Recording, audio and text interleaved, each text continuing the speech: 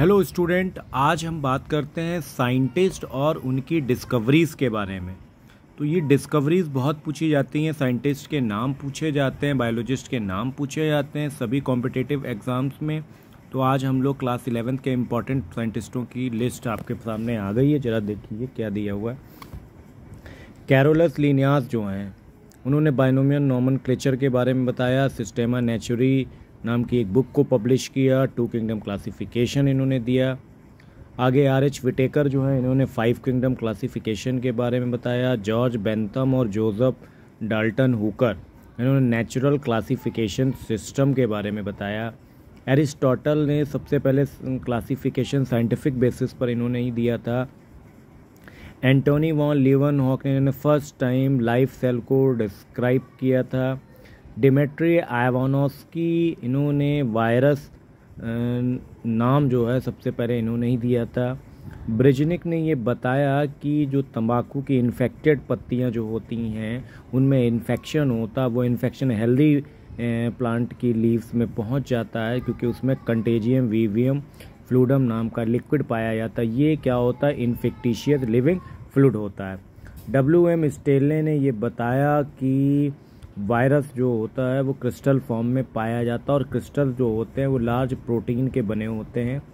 T O dinar जो थे, इन्होंने वायरॉइड के बारे में डिस्कवर किया था। वायरॉइड को इन्होंने ही बताया था।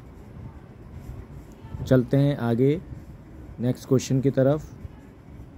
तो सभी बच्चों, ज़रा लाइक और सब्सक्राइब भी करते रहें और आगे बढ़ते हैं हम लोग क्वेश्चन। रॉबर्ट ब्राउन, इन्होंने न्यूक्लियस को डिस्कवर किया, मैथियास, शेल्डन जो थे, इन्होंने एग्जामिन किया कि प्लांट को में ऑब्ज़र्व किया कि जितने भी प्लांट होते हैं, उनमें डिफरेंट काइंड्स की सेल्स पाई जाती हैं, वो सेल्स मिलकर टिश्यू बनाती हैं।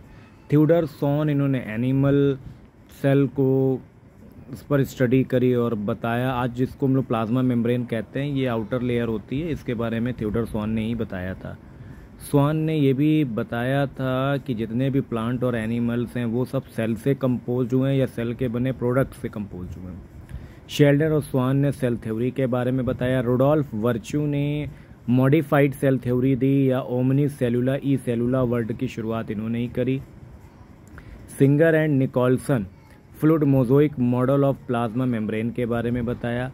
कैमिलो गोल्जी ने गोल्जी एपरेटस को डिस्कवर किया।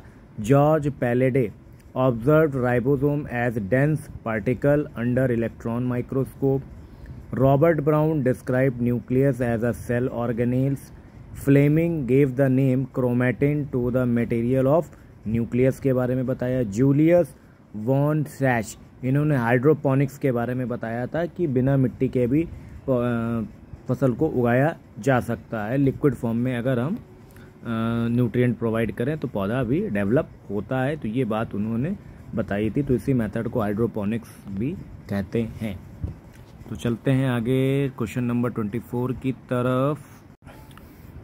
तो दोस्तों, वीडियो कैसी लग रही है? तो ज़रूर लाइक और शेयर सब्सक्राइब करते रहें। चलिए क्वेश्चन नंबर ट्वेंटी फोर की तरफ़। जोसेफ प्रीस्टली ने प्लांट की ग्रोथ के लिए एयर का क्या इसेंशियल रोल है, उसके बारे में बताया। जैन इंजन हॉज ने सनलाइट इसेंशियल है प्लांट के लिए, इसके बारे में बताया। जूलियस वॉन सैश ने ये बताया कि प्लांट की ग्रोथ के लिए ग्लूकोज का प्रोडक्शन एक एविडेंस फॉर्म में पाया जाता है और बहुत ज़रूरी है, ये बात बताई।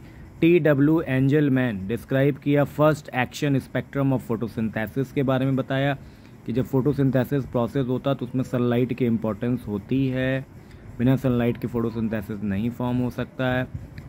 Blackman law of limiting factor के बारे में बताया, गॉस्ट ऑफ़ एम्बिडेन ओटोमेडियोट परनास ने ग्लाइकोलिसिस के बारे में बताया, एफ़ डब्ल्यू वेंट ने ऑक्सीजन हार्मोन के बारे में बताया, ई कोरोसावा, इन्होंने जिब्रेलियन हार्मोन जो होता है ना, जिप्लांट हार्मोन, जिब्रेलिक एसिड जो होता है, उसके बारे में बताया। चार्ल्स डार्विन, फ्रांसिस डार्विन जो थे, इन्होंने ये बताया, ऑब्ज़र्व किया कि कोलियोपेटाइल जो होता है, कैनरी ग्रास में responded to unilateral illumination by growing toward the light source इनमें बताया लाइट के सोर्स के बारे में।